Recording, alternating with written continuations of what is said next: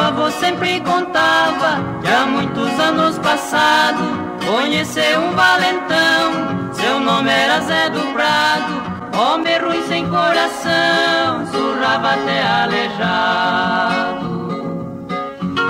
Nas festas que ele chegava, barulho estava formado.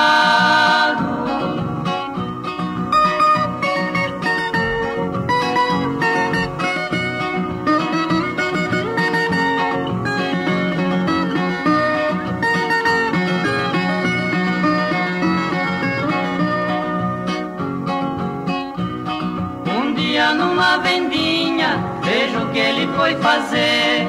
Puxou do seu parabelo, não deixou ninguém correr. Abriu um garrafão de pinga, pediu pra todos beber.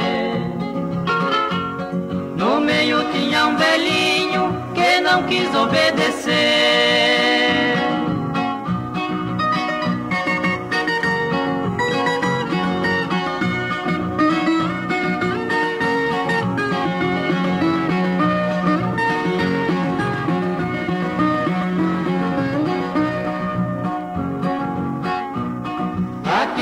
Pobre velhinho foi falando sem receio.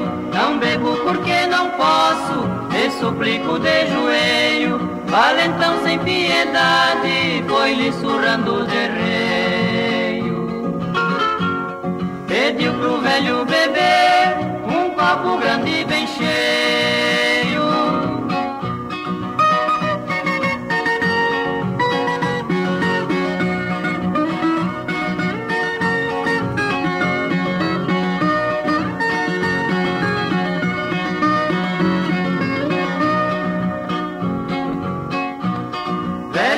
puxou revólver e atirou no valentão. A bala foi bem certeira acertou no coração. Aquele homem valente caiu morto no chão. Esta história verdadeira que sirva como lição.